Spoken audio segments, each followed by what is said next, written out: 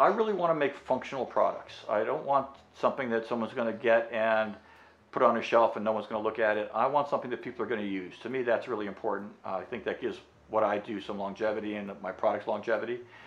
So there are a tremendous number of people who need bottle stoppers for wine bottles. Um, I know the real serious wine enthusiasts always say that there's never any wine left over to put a, a bottle stopper on, but there are some people who only have one or two glasses a night and they do need something.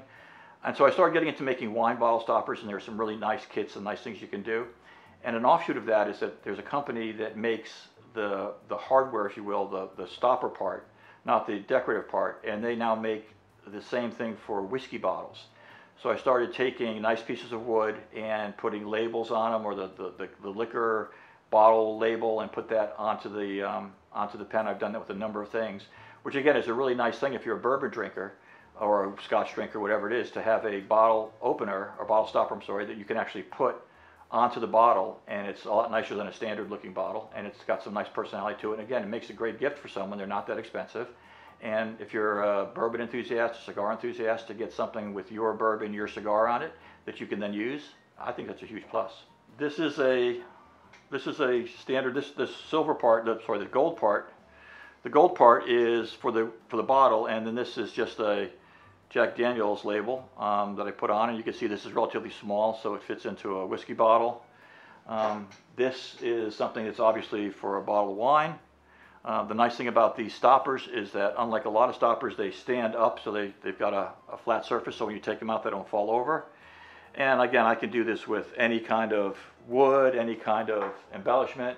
This is something that I just recently worked on, which is actually some glass from a very good, uh, my, my niece's wedding. Um, we're Jewish, and at the end of the ceremony, they step on a glass, and I took that glass and cast that in acrylic and made that into a nice wine bottle stopper, which will have some real significance for them.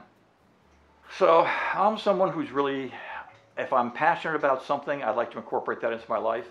I'm a recently new cigar smoker, uh, which probably is not the best thing for a physician to say, but um, I, I, really do enjoy it, and cigar smoking is something I've really become very fond of.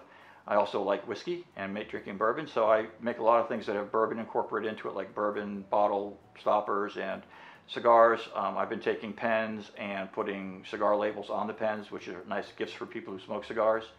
And I also make cigar holders and things that, again, it's if you know someone who likes cigars, you can always buy them more cigars. But this is a chance to buy them something that's a little bit more permanent, maybe not quite as um, expensive as a, a, a, you know really expensive cigars might be, and it really does sort of manifest my interest in my hobby, and I've been able to turn that into my business. So cigar holder is really not that difficult to make. Again, as with most things, I start out with a piece of wood. I've got to drill some holes through it so I can put tubes into the wood, turn it on the lathe, shape it, polish it, and then there's a kit that has all the hardware, the, the, the fasteners and the cutters and things like that, the punch cutter, that are all part of a kit that just gets assembled and then, the, uh, and then it's made. It's actually a pretty simple process. I try to use some really exotic woods, which is nice. One of the nice things about doing smaller things like I do is um, there are some beautiful exotic woods from all over the world. Um, I try as much as possible to use species that are safe, that they're not in the endangered list, that they're protected. So that's a big important thing in terms of being ecologically responsible, shall we say.